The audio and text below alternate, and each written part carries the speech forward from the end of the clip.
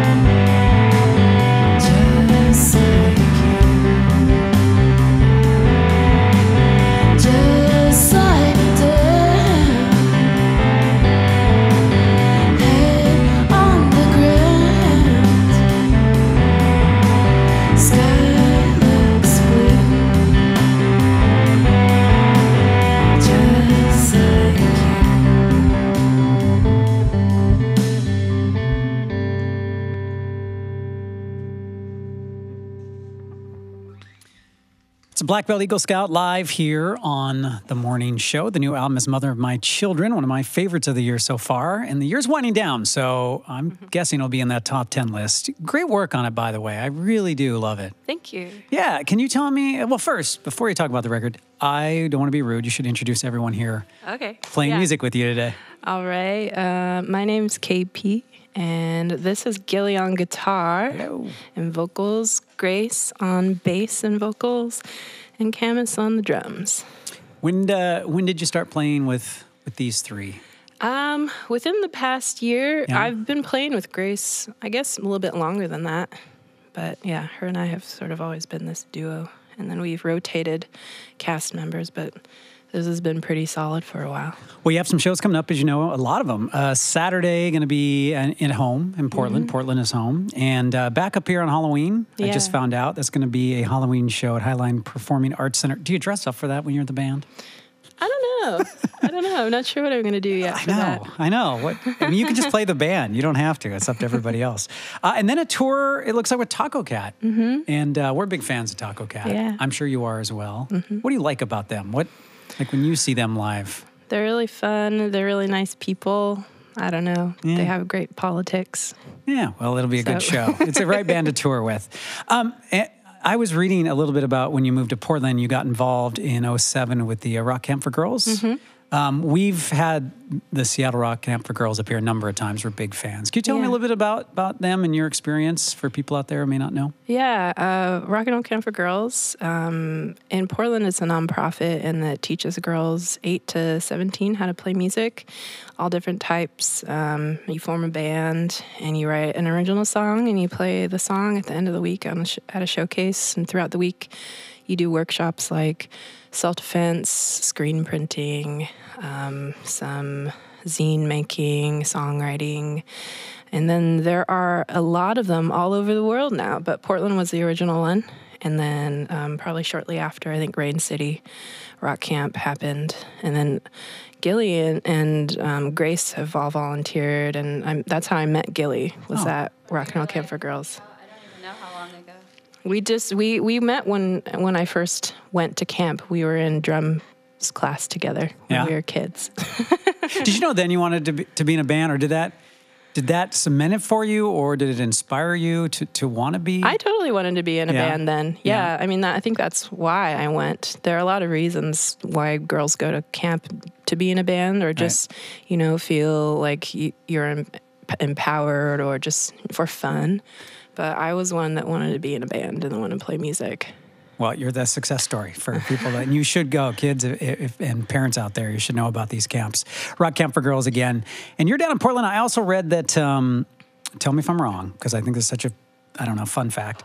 But you taught yourself how to play music as well by watching VHS tapes of Nirvana and Hole. Mm-hmm. Okay, so walk me through that. Do you hit pause and go back? Um, yeah, uh, yeah, totally. Like I, uh, I just got a computer in my house when I was um, a teenager, Yeah. and I was researching all about music. And because I I lived in Washington, I, I grew up just up up the highway a little bit. Um, you sort of hear about the grunge scene. You hear about what's going on in, in, in your state, and so I was like, "Who's this Nirvana?" You know, what's this band? And then I was also really into Hole. And so I joined like this Nirvana chat forum. and then um, there were a bunch of people trading like bootleg things in the chat forum. And I received a bunch of just uh, tapes. And yeah, I'd watch it on a little TV in my bedroom and figured out how like a, a power chord, yeah. what a power chord was, just because, you know, it's the same thing moving up the moving up the fret. Yeah. So Did you cover? Were you able to play a song from Nirvana? Did you get to that? Some of it. So it's funny because I was after I discovered Nirvana, I was I got into Hole and I was really into Hole. Yeah. I think it's because just like there's a woman playing in the band, and I was like, this is really cool. And then I got into Riot Grrrl, so I'd play more Hole songs Yeah. rather than Nirvana. But you got a whole song like you you. Yeah, but the first song I learned to play on guitar was Doll Parts by Hole. So That's a great song. What a good record too. um, tell me about this record, your record. Can you tell me a little bit about the inspiration behind it?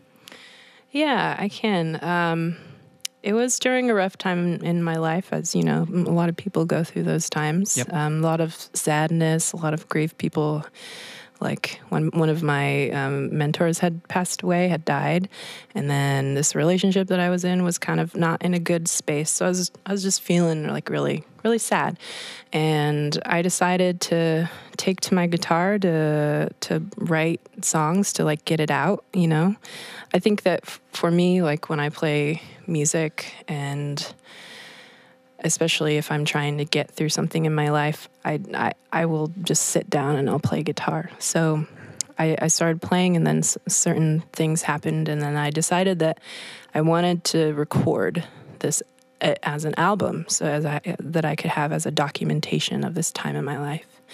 And uh, I wasn't done with the album when I set the um, recording dates. So I was like, I'm just going to do this. Like, I'm going to try it out and do it. And then I went up to Anacortes, Washington. That's where I was born. And uh, there's the Anacortes Unknown recording studio up there. And I recorded it there in the wintertime with Nick Wilbur, um, who's one of the engineers out of there. So you weren't done with the album. Were you done when you stepped in there, or did you finish it in the actual studio? I finished it in the studio. Yeah. A lot of the drum parts on the album um, were in the moment in the studio. Like the song we just played, "Just Lie Down." That that was the drum part that I just made up while I was recording.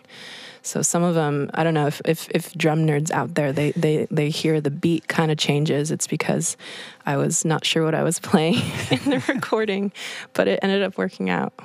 So you're a little removed from the lyrics part and the words that you wrote down. And are you able already to look at it as, as that journey through that time? Or Yeah, you're far Yeah. enough away from it? I, I, I feel like I am. Um, yeah, I, I think so. I also like, I'm really proud of the record. I put a lot of myself into it and I'm happy with how it came out. And I feel like it's one of those things where I want people to be able to listen to it who maybe are going through a hard time Right. and to take that and to hear the songs because I poured a lot of myself into it and I think it's really beautiful. So I want people to to see that and to feel that and to to you know have it help them. That was my follow up question. Like to put those songs out there and have other people take them for for what they're going through must, Yeah. must mean the world to you. Even if one person does that. Yeah, That's totally. impact, right? Yeah. Well, it's a great record. I can't recommend it enough. Also, you're on Saddle Creek. I should I should ask about that. Did, I am. Was there? Can you tell me how that happened? They wrote me an email one day and they're like, "Hey, what's up?" What have they heard? "Hey." What had they heard? Um, so this record is actually a re-release. Yeah. because a, a local label called Good Cheer put it out, and so it was on Spotify, and I think they heard it on Spotify, and they're like, "Hey, this album's really great. What's going on with it? What are you doing?" And um, the the courtship, I call it, kind of happened from there. And we kept talking and staying in touch, and then finally it came to the point where like we want to put this album out for you again to like a a, a wider public, and so we want to help you. So I was like, this sounds really great. yeah, we had heard the songs. La- I think it was last year. Is when it yeah. is that when you put and, Yeah. and to get extra life or or I don't know. It's I don't know if that's a luxury or um, a process I wish everyone could have. You get a little bit of putting it out on your own, and then get the get the help you might need to get it a, a label that really Yeah. that really supports its artists. yeah, totally. Saddle Creek is that label. So Yeah. congratulations on that. That's very cool. Uh, again, the show is coming up down in Portland on Saturday, October 27th, and a Halloween show we definitely recommend. And then a lot of touring with Tacocat. Check out KEXP.org for more info. It's Black Belt Eagle Scout. You have more songs from the record if you're ready. Yeah. All right. All right. This song is called "I Don't Have You in My Life."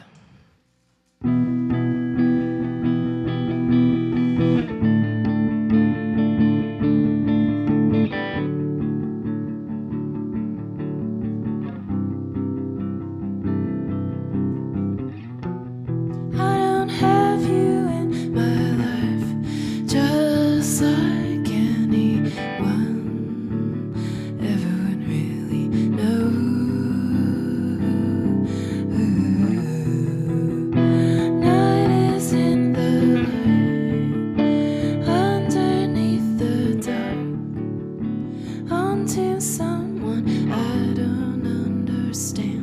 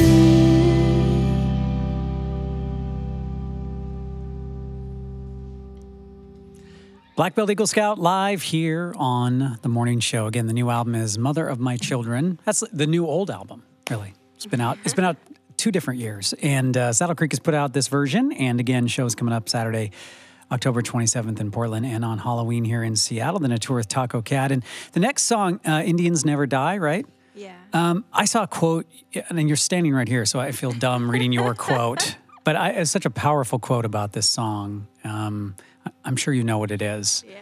Um, can you talk about the song and, and, and what you said about it? Yeah. Um, so I want to start off by saying that so all the um, all the shows we normally play, um, I will say something about this song. Sometimes it's hard for me to say something. Sometimes it's really easy, um, but I try and say something pretty much all all the time. Um, so this song, it's called "Indians Never Die." And it's about um, the relationship that we have with Mother Earth and being aware of our surroundings, essentially. Like we are all living here together and um, we're all partaking in this planet, so we need to take care of it and we need to um, always ensure that the way that we're living on this ground is is in a passionate way because in the United States, like this is stolen land. Um, here in this area, this is where my ancestors are from. So the Seattle, like um, kind of northwest, this area, this is where my dad's family originally, where we always have lived. So that in particular, like talking about that here, I feel like, um, you know, it's it's just one of those things where I want to make people aware of, of um, you know, to be respectful and to to take care of, of, of where we live. So I've said a lot of things in different ways about about this song. Um, but I've I've I've been a little bit more harsh sometimes, I think. but and then but then sometimes I'm more inclusive. Um, it depends on how I'm feeling. Well said. yeah. All right, are you ready? Just about. I can buy more tune. time. Yeah, I put you on the spot. You have to talk and you're I'm ready. in. I think I'm All right. Yeah. Okay.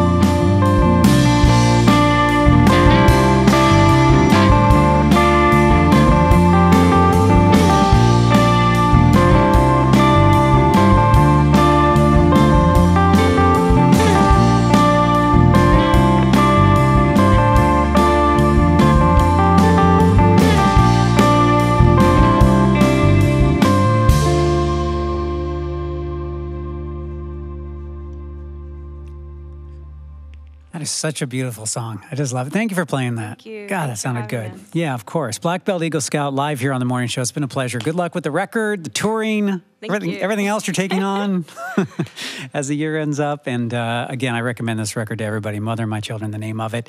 Uh, big thank you to the people who support KEXP and the people who work here and volunteer. And it keeps us independent. It keeps these in studios happening. And I just appreciate all of your support. And uh, that's it for me. I'll be back tomorrow. This is listener powered KEXP Seattle.